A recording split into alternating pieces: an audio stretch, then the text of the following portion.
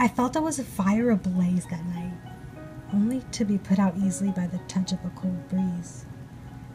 I dreamt I would arise from the ashes like a phoenix. I dreamt that my voice, once as soft and delicate as a cherry blossom, could travel through all lands, through all worlds, across the universe, and through all of time. I awoke to find my voice small and frail, unable to fly at all.